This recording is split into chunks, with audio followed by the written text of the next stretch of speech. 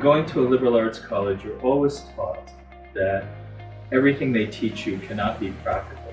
And this program was the complete antithesis of that because it really took all of these liberal arts courses, which also fortuitously were kind of pre-med courses, and it put them together to try to help people um, fulfill their romantic interests. So I, I, have enormous respect for Fred Mansfield. He um, is somebody who brings enormous integrity to science and all of his efforts, but he's super smart.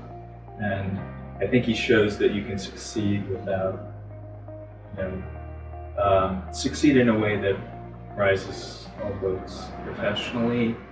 I um, I love what I do. Um, I love being a mentor. There is nothing that I value more than dad and, um, and a good husband.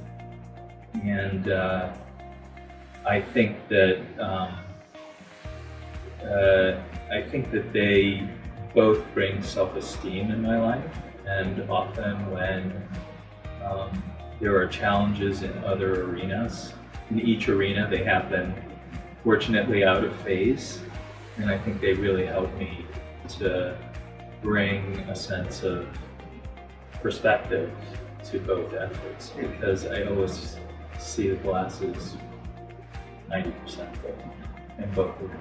I want there to be an organizational legacy, a mentoring legacy that we've created an institution that where doing good and doing well are not mutually exclusive.